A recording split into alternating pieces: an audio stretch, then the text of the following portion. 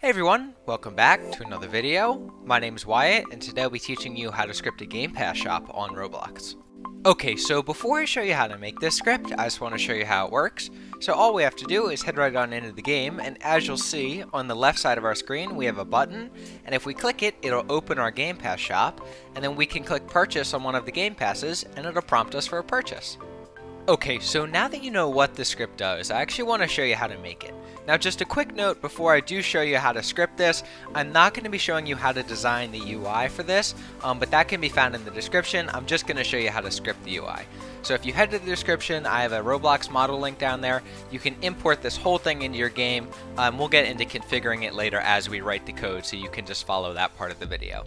Um, so welcome back if you just went down there and grabbed that model. Awesome. If you'd like to, you could always recreate this. You just have to follow the same format, the same um, file structure.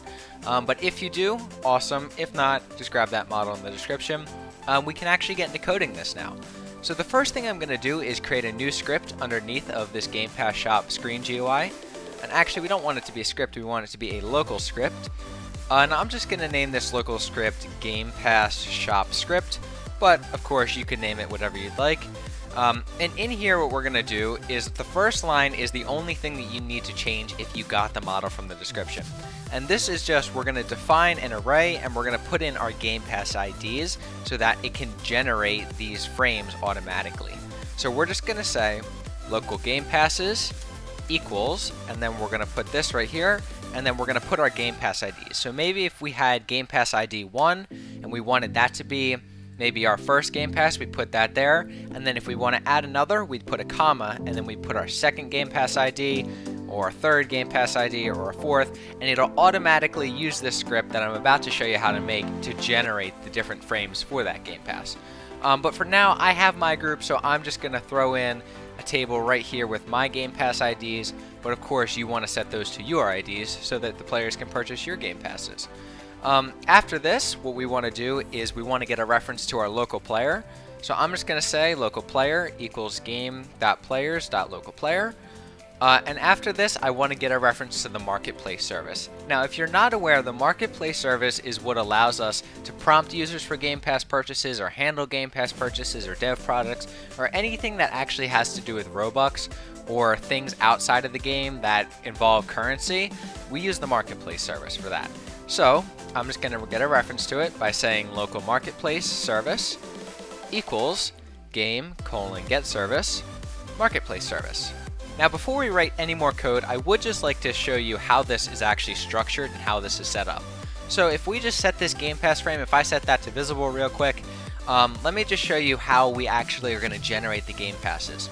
So we have something right here called a UI grid layout, and this makes it so that whenever we clone an object that's under the parent of the parent of the UI grid layout, so if the UI grid layout is in the same indentation of another object, whenever we clone an object, it's going to space it out based on the parameters we set in here in the properties panel. So this makes it really easy we don't have to do any positioning. All we have to do is clone this sample frame and it'll automatically set it up so that we can use it. And we don't even have to do any positioning or sizing or anything like that. So I really like using UI grid layouts because they make it really easy for us to create things dynamically or make data-driven code in our game. So what we're going to do, so we have our sample frame right here, and underneath this sample frame, we have a purchase button, and this is what the player is going to click. And then we have a Game Pass image, and this image is what shows the actual Game Pass icon that you specified in Roblox. So we don't have to do any customization. It pulls this down from Roblox using the Marketplace service, so it's very, very, very easy to set this up just by specifying our Game Pass IDs. So back to the script, now that you know how that UI actually is structured, um, I want to get a reference to our Game Pass frame, which is right here. So let's create a new variable. I'll say local Game Pass frame equals script.parent.gamepassFrame. And I also want to get a reference to the sample frame, which is this thing right here that we're going to clone. I want to get a reference to that, and that's underneath the Game Passes frame. So we'll say local sample frame equals Game Pass frame dot sample frame, just like that. Uh, after this, we have one more variable that I'd like to define up top, and that is a reference to our toggle button. And this will just make it so when we click it, we, it'll, the UI will turn on, and when we click it again, it'll turn off, so that the user doesn't have the UI on their screen all the time.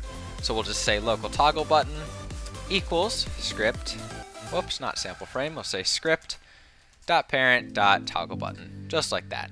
And after that, that's all the variables we have to define up top. Now we can get into defining some functions. Um, so the first function I'd like to make is a function to toggle the shop GUI. So if the shop GUI is not visible, we want to make it visible, but if it is visible, we want to make it invisible, and we want to change the button text accordingly. So I'll say function toggle shop GUI, and then I'm just going to put two parentheses, right, because it's a function. Uh, and I press enter and it's going to end it off for us. Uh, and what the first thing, so we want to see if the Game Pass frame right here, if it's not visible. So if Game Pass frame dot visible is equal to false, we're checking if it's invisible. So if it's invisible, then we want to make it visible when we click that button. So we'll say Game Pass frame dot visible equals true. Uh, and we'll say toggle button, which is that button on the side once again, text equals close. So we're to make the, so when we click the button for the first time, it's to make this UI visible, and then it's to tell us if we want to close it. It's to set that button text to close. Uh, and then in here, we can just say else. So otherwise, if the GUI is in the state that it is now and it's already open, then we want to make it invisible and set the text back to what it was originally. So we'll say game pass frame dot visible equals false and toggle button dot text equals Game Pass Shop, just to let the players know what this actually is. After this, I want to do, I think this is actually, yeah, this is our final function that we have to set up it is going to be the setup game passes function. Now this is a quite a bit of code, so if you're not too advanced with scripting, I suggest copying this from the description. Otherwise, you could follow along if you want to learn a thing or two about it. But all this is going to do is it's going to pull each one of these and it's going to generate one of these frames for each one. So we have our first game pass right here. It's going to duplicate it and set some values. And we have the second one, again, it's going to duplicate it again and set some values. So I'm going to name this function setup game passes. But of course, you can name it whatever you'd like. Uh, so set up game passes, and I'm going to put two parentheses because it is a function and it'll end it off for us. And then in here, I'm going to set a for loop that's going to iterate through our game passes right here. So we'll say for i equals 1, comma, number of game passes, do, and that'll loop through, so however many game passes there are, if they're two, it's going to do this two times. Uh, and I want to get the Game Pass ID that we're on currently. So I is the iteration, the index um, of this array that we're in currently. So we'll say local Game Pass ID equals Game Passes I. And this will just get, so if we're on the first one, it'll get this. If we're on the second one, it'll get this, etc. for however many Game Passes you have set up. Uh, after this, I want to get the Game Pass data of this ID from the Marketplace service. So the Game Pass data includes the price, the icon, um, the description, the owner, a bunch of other things like that that are useful for dynamically generating these different values right here, these frames. So we'll say local Game Pass data, we'll create a new variable, equals marketplace service colon get product info and the first argument we're going to pass in here is the Game Pass ID because we need to know what product is it. Uh, and then after this, we need to tell the marketplace service that we want to get the info of a Game Pass rather than a developer product or t-shirt. So we'll say enum.infotype.gamepass just to tell the marketplace service that this is a Game Pass. Uh, after this, I want to get the price so that we can tell the user how much the Game Pass costs. So we'll say local Game Pass price equals Game Pass data dot price in Robux, just like that. And it has to be price in Robux just because that's the way Roblox sets it up. Um, so unfortunately, you can't configure that specifically, but it's not too hard um, to remember. And then after this, we're going to get the icon. So the asset ID as a number of the icon. So we'll say local Game Pass icon, the image for the Game Pass equals Game Pass data just like that, dot icon image asset ID. I know that one's long, so make sure you get the caps and the spelling and all that. Uh, and after this, we're actually ready to clone the slot as I was showing earlier. So we're going to clone this slot for the Game Pass. So I'm just going to basically say local Game Pass slot equals sample frame colon clone. And that's going to do exactly what I just said. It's going to clone this sample frame so that we can set the values in here for our Game Pass and we can prompt the purchase when they click on it and all that good stuff. So we're going to clone the slot, and then after this, I actually want to set the Game Pass image. I want to get this right here, and I want to get this right here. I want to get the purchase button for that slot, and I want to get the Game Pass image for that slot. So we'll say local Game Pass image, and this is just going to get a reference to this object equals Game Pass slot dot samp Game Pass image, like that. Uh, and then I want to get a reference to that purchase button. So we'll say local purchase button equals Game Pass slot dot purchase, just like that. Uh, and after this, we want to set some values. So that's all the variables for now. We want to set these values. Um, so I want to set the parent and I want to set the name of this Game Pass slot. You don't have to set the name, but I think it's easier for organization. Uh, so I'm just going to say Game Pass slot dot parent equals we're going to set it to script dot parent or Game Pass shop, which we have a variable for. So Game Pass shop. Oh wait, do we have a variable for that? Oh, Game Pass frame. My bad. Uh, and then after this, we want to say, we, I'm just going to specify the name, so I'll say Game Pass slot dot name is equal to Game Pass ID. Uh, after this, we can use these variables that we created right up here about the price and the icon, and we can actually set the text of this, and we can set the image ID of that, um, so that it'll specify the price next to this purchase button, and it will set the image to the image of the Game Pass itself. So I'll say purchase button dot text equals, and we're going to put two quotes because this is a string. I'm going to say purchase because we want them to know that they're going to be able to purchase it dash, and then I'm going to do a dollar sign and an R just to sell, tell the user that it's Robux, but you don't have to put that if you don't want. Uh, and then we're going to concatenate. I'm going to add onto that string Game Pass, Game Pass price, just like that. So if it was this first one and maybe the first one cost 50 Robux, it would say purchase dash Robux sign 50. If it was the second one and that cost 100, it would say purchase dash Robux sign 100. So it tells the user whatever the price is for the pass before they click on it. Uh, and then after this, I just want to set the image of this right here, of this object. We'll say Game Pass image dot image equals, and I know you normally think, this is actually when I was creating this, I thought this too, you could just set it to Game Pass icon, right? That variable we set up up here, that's the Game Pass icon. And because Game Pass icon returns a number rather than a string, it's not going to work because images have to be specified as string. The decal ID goes like this. We put a string and then we say RBX asset ID uh, colon slash slash and then we put in the numbers for that Game Pass ID or the image ID. So we'll just concatenate that with Game Pass icon.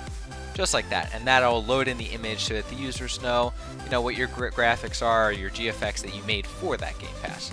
Uh, and then after this, we only have a few more lines for this function. We'll just say purchase button, and I actually spelled button wrong. I realized that. We have to fix that. I said boat, and we have to say button. One sec. Just like that, over there, and over there. And we want to change it down here. And we're just going to get when this button's clicked so we can prompt the user for the Game Pass purchase. So I'll say purchase button dot mouse button one click and I'm going to connect that up to a function. And then inside of that function, we're going to prompt them for a purchase using the marketplace service. So I'm just going to say marketplace service colon prompt game pass purchase. Uh, and then our first argument, we need to pass in the player because we need to tell the marketplace service, okay, well, who are who do we want to prompt the purchase for?